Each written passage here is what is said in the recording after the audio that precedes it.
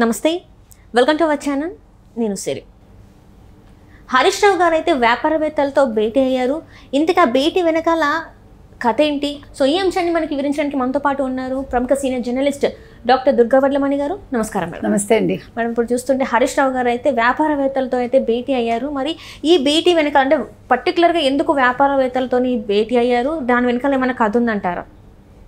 మీరు చూస్తే కనుకైతే ఈ మధ్యన బీఆర్ఎస్ నాయకుడు ఆయన ఎవరు? మన చంద్రశేఖరరావు గారు ఓ బయటకు వస్తున్నాడు ఆయన ఫామ్ హౌస్ వదిలి. అందరికీ ఓడిపోయాక వాళ్ళకి అన్నీ గుర్తుకొస్తూ ఉంటాయి ప్రజలు గుర్తుకొస్తారు. తర్వాత ప్రతిపక్షాలు గుర్తుకొస్తాయి. లేకపోతే ఇప్పుడు అధికార పక్షం గుర్తుకొస్తుంది. అందుకని బయటకు వస్తున్నాడు ఆయన. ఇప్పుడు ఆయనకి ఏం చేయాలో దిక్కు తోచట్లే. ఇవాళ ఒక ఎమ్మెల్యే జాయిన్ అవుతున్నారు కాంగ్రెస్లో. నిన్న ఒక ఎమ్మెల్యే జాయిన్ అయ్యారు. ఎమ్మెల్సీలు ఆల్రెడీ రెడీగా వెళ్తున్నారని విన్నాం మనం. వరుసగా వెళ్ళిపోతున్నారు. ఒకవేళ అనుకున్న సంఖ్య కనుక వెళ్ళిపోతే కాంగ్రెస్లోకి మరి బీఆర్ఎస్ దుకాణం బంద్ అవుతుందా? ఇప్పుడు ఈ టెన్షన్లో ఇప్పుడు ఇంకొకటి ఏంటంటే ఎంత హరీష్ రావు సొంత మేనల్లుడైనా చిన్నప్పటి నుంచి మేనమావతోటే పెరిగాడు ఆయన మనకు తెలుసు. మేనమావ అవసరాలంతా ఆయనే చూసేవారు. ఆయన ఫోన్ కాల్స్ అంతా నోట్ చేసి పెట్టి ఫస్ట్ నుంచి హరీష్ రావు ఉన్నారు మేనమావ దగ్గర. అయినప్పటికీ ఏం జరిగింది? కొడుక్కే కదా ఇంపార్టెన్స్ ఇచ్చాడు ఆయన. సో మొదటి నుంచి కొడుకే ఇంపార్టెన్స్ ఇచ్చారు. గత పద్నాలుగేళ్ళు అంతకుముందు ప్లస్ ఈ పదేళ్ళు. అంటే రెండు వేల నాలుగు నుంచి ఇరవై నాలుగు. ఇరవై ఏళ్ళలో కొడుక్కి కూతురికి ఇచ్చిన ప్రాధాన్యత హరీష్ రావుకి ఇవ్వలేదు ఆయన. అంటే ఈ ఉద్యమం మొదలయ్యాక పిల్లలు ఆయనతో చేరారు. ఎక్కడో చదువుకున్న కొడుకు వేరే పనులలో ఉన్న కూతురు కూడా ఈ ఉద్యమం పేరు చెప్పుకుని తండ్రికి దగ్గరయ్యి పార్టీలో వాళ్ళ కీలక పదవులు తీసుకుని తర్వాత మీకు తెలిసి ఎం ఎంపీ అయింది ఆవిడ. ఈయన ఎమ్మెల్యే అయ్యారు మినిస్టర్ అయ్యారు ఐటీ మినిస్టరు. ఫస్ట్ టర్మ్ బాగానే పేరు తెచ్చుకున్నారు. తర్వాత అంతా ఎవరి నిజస్వరూపాలు వాళ్ళు చూపించుకున్నారు. ఇవన్నీ జరిగాయి.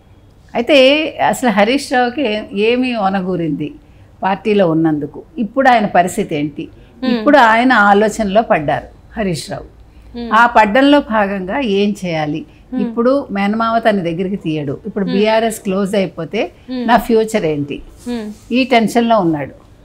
ఎందుకంటే ఇప్పుడు యాక్చువల్గా బీజేపీలోకి వెళ్ళిపోతారని అందరూ అనుకున్నారు. కానీ ఇప్పుడు బీజేపీ కాదు కాంగ్రెస్లో చేరాలి అని ఆయన అనుకుంటున్నారు.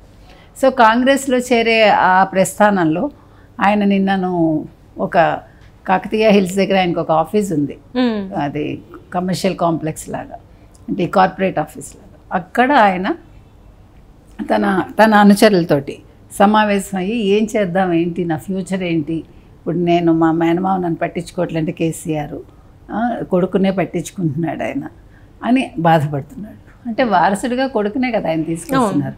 మధ్యలో కూడా అసలు కేటీఆర్ సీఎం అయిపోతాడు ఇంట్లో గొడవ ఇంట్లో గొడవలు జరిగాయి. వాళ్ళు కాలర్స్ పట్టుకొని మరి గొడవ పట్టుకున్నారు ఇన్ని వచ్చాయి మన గతంలో. ఈవెన్ కేసీఆర్కే దిక్కుతోచని పరిస్థితిలో ఉన్నారు. ఇవన్నీ రకరకాలు మనం ఒక ఐదేళ్ళలో చాలా విన్నాం. సో ఈ నేపథ్యంలో ఇప్పుడు కేటీఆర్ పరిస్థితి చూస్తే అతనికి ఏమీ ఫ్యూచర్ కనిపించట్లే మనకి.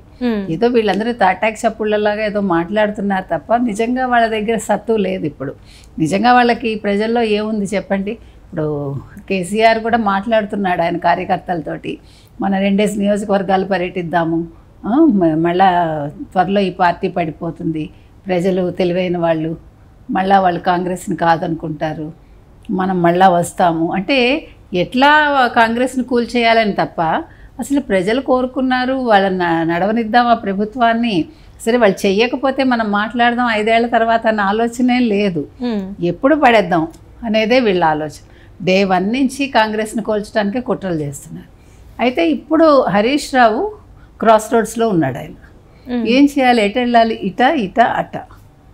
ఇప్పుడు టీఆర్ఎస్ని నమ్ముకుని ఆయనకు ప్రయోజనం లేదు. సంపాదించుకోవాల్సిన అందరూ సంపాదించేసుకున్నారు. కానీ పవర్ చాలా ఎక్కువ కదండి. సో పవర్ కోసం ఏం చేయాలి? ఇప్పుడు తనకి ఎంతమంది ఉన్నారో? తన వెనకాల చూసుకుంటున్నాడు ఆయన. ఆయన కూడా కొద్ది గొప్ప ఫాలోయింగ్ ఉంది. గతంలోనే ముప్పై మందితో వెళ్ళిపోతాడు. అప్పట్లో మీకు గుర్తుంటే. బీజేపీలోకి వెళ్ళిపోతాడు. ఎలక్షన్స్ ముందు కూడా ఎలక్షన్స్ ముందు రెండేళ్ళ ముందు కూడా వచ్చింది. అంటే TRS two and half years అయ్యాక పాలన. అప్పుడు కూడా వెళ్ళిపోతాడు అని చాలా వచ్చాయి మనకి రూమర్స్ సో ఎప్పటికప్పుడు ప్రస్థానం కొనసాగిస్తూ వచ్చాడు ఆయన. ఎంత కొనసాగించినా ఇప్పుడు తనకంటూ ఒక ఐడెంటిటీ కావాలి అంటే మేనమామ క్లచెస్ నుంచి బయటకు రావాలి. ఇప్పుడు టీఆర్ఎస్ చంద్రశేఖరరావు మేనలుడిగా కంట హరీష్ రావు అన్నదానికి ఒక గుర్తింపు ఉండాలి. ఎందుకంటే హరీష్ రావు యాక్చువల్గా కేంద్ర రాజకీయాలకి పనికిరాడు ఆయన. బికాజ్ ఆయనది రూరల్ బ్యాక్గ్రౌండ్. వేరేస్ కేటీఆర్ అంతా అర్బన్ కదా. ఇప్పుడు కేటీఆర్ ఎంపీ అయితే వేరు. బట్ ఈయన ఎంపీ కంటే ఎమ్మెల్యేగా ఉండి లోకల్గా ఇప్పుడు ఎందుకంటే సిద్దిపేట చాలా డెవలప్ చేసుకున్నాడు ఆయన. ఇప్పుడు వీళ్ళు ఏం చేస్తారంటే ఇవాళ కూడా మనం చూసాం న్యూస్లో. ఈ ఎమ్మెల్యేలు కావచ్చు ఎంపీలు కావచ్చు ముఖ్యమంత్రులు కావచ్చు వాళ్ళ నియోజకవర్గాల అభివృద్ధికి చూస్తున్నారు తప్ప మిగిలిన ఇప్పుడు మంత్రి కాని వాళ్ళు ఉంటారు సపోజ్ ఒక ఎమ్మెల్యే. వాళ్ళకి నిధులు ఎక్కువ రావు. ఆయా నియోజకవర్గాలు డెవలప్ అవ్వట్లేదు. సో నేనంటాను ఇప్పుడు వీళ్ళు ఎమ్మెల్యేగా ఉన్నప్పుడు వీళ్ళు ఒక మినిస్టర్గా ఉన్నప్పుడు పక్క కాన్స్టిట్యున్సీల మీద కూడా దృష్టి పెడితే బాగుంటుంది కదా. దానివల్ల నీ కాన్స్టిట్యున్సీలోనే కాకుండా పక్క దాంట్లో కూడా నీకు సేవ్ ఉంటుంది. ప్లస్ అక్కడ డెవలప్ చేస్తే ప్రజలు నిన్ను నెత్తిన పెట్టుకుంటారు. అంటే ఇది ఒక పాయింట్ అంతే. ఇప్పుడు దీనికి దానికి సంబంధం లేదండి. కాకపోతే ఈయన సిద్దిపేట డెవలప్ చేశారు కాబట్టి మనం ఈ మాట అనుకుంటున్నాం అంతే. కాబట్టి ఇప్పుడు సిద్దిపేటలో ఆయనకు ఒక మంచి పేరు ఉంది తర్వాత వ్యవసాయం మీద అవగాహన ఉంది ఆయనకి. ఆయన పరిధిలో ఆయనకి మంచి అవగాహనే ఉంది. ఒక మంత్రిగా ఆయన బాగానే చేశాడు అని అంటారు. కాబట్టి ఇప్పుడు కాంగ్రెస్లోకి వెళ్తే ఆయనకి ఎటువంటి గుర్తింపు వస్తుంది? అంటే గుంపులో గోవిందా అవుతాడా? రేవంత్ రెడ్డి ఈయన దగ్గరికి చేరుస్తాడా? అసలు ఎందుకు తీసుకోవాలి? అంటే మిగతా వాళ్ళు వేరు హరీష్ రావు. వేరు అంటే హరీష్ రావు గారికి చాలా వరకు గుర్తింపు ఉంది. ఆయన ఆయన వెనకాల కేటీఆర్కి కేసీఆర్కి ఎంత జనాభా ఉందో హరీష్ రావు కూడా అంతే ఉన్నట్టు మరి ఆయనకు అంటే ఒక ఫ్యాన్ బేస్ అయితే ఉంది.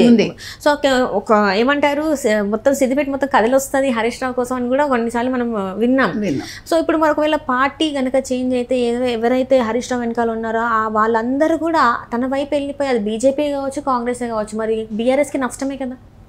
బీఆర్ఎస్ ఇంకా ఎలాగ ఇంకా పార్టీ లేదు. మనం ఎన్నిసార్లు చెప్పుకున్నా అదేనండి. బీఆర్ఎస్కి ఫ్యూచర్ ఎక్కడ కనిపించట్లేదు. ఇప్పుడు హరీష్ రావు సరైన సమయంలో ఇప్పుడు నిర్ణయం తీసుకోవాలి ఆయన. ఇప్పుడు కాంగ్రెస్లోకి వెళ్తే సరే తను ముందుగా బేరసారాలు ఆడుకుని ఓకే నేను వస్తాను నా అనుచరులు ఇంతమంది వస్తారు నాకేంటి అని అడిగాడు అనుకోండి. అప్పుడు ఆయనకి ఏదైనా సరైన ఒక మంత్రి పదవి ఇస్తే అప్పుడు ఆయన వెళ్ళిన అర్థం ఉంటుంది. లేదంటే ఒక ఎమ్మెల్యేగా వెళ్ళి గుంపులో గోవిందలాగా ఉండి సరే నియోజకవర్గం పాలన చేసుకోవచ్చు అనుకుంటే దాని బదులు ఇండివిజువల్గా ఉండటం సుఖం కదా. ఇప్పుడు పార్టీ మారి చెడ్డ పేరు తెచ్చుకునే కంట పార్టీలో పదవి వస్తుంది అంటే ఆయన ఆలోచించుకుని చేరితే బాగుంటుంది. లేదంటే తనకి పార్టీకి తనుండి తన నియోజకవర్గంలోనే సేవ చేసుకుంటూ నెక్స్ట్ ఎలక్షన్స్ వరకు వెయిట్ చేసి అప్పుడు లాస్ట్ మినిట్లో బీజేపీనా కాంగ్రెస్ అప్పుడు డెసిషన్ తీసుకుంటే అప్పుడు ఏమైనా ప్రయోజనం ఉండొచ్చు. అంటే ఇప్పుడు ఒక ఇప్పుడు బీజేపీలో చేరినా ప్రయోజనం లేదు. బీజేపీకి ఇక్కడ ఏం లేదు. మొన్న వీళ్ళు కాదనుకున్నారు కాబట్టి టీఆర్ఎస్ వాళ్ళు అక్కడ కేంద్రంలో మోదీతోటి సఖ్యత కావాలని అప్పుడు వాళ్ళు మొన్ననంతా కూడా వాళ్ళు సరైన క్యాండిడేట్ని పెట్టుకోకుండా కావాలని ఓడిపోయారు సగం సీట్లు చెప్పాలంటే ఎంపీ సీట్స్. కాబట్టి ఇప్పుడు ఆయన బీ ఇది బీజేపీలో చేరడం వల్ల ప్రయోజనం లేదు.